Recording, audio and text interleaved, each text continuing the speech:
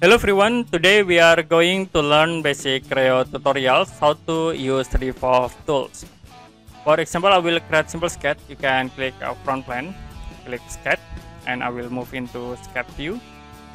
Next we draw simple sketch. I will draw spline in here. And the next create to this point.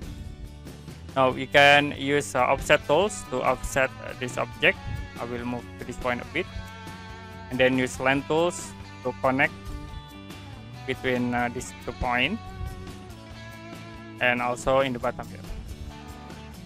Now we need to create for center revolve i will use center line. Click from origin to the top. And you can click ok.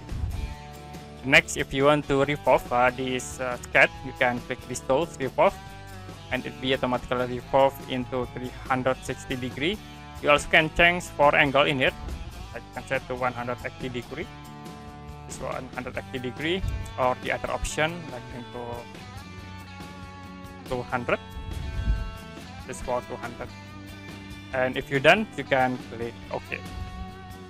Okay that's it for basic Creo tutorials how to use revolve tools.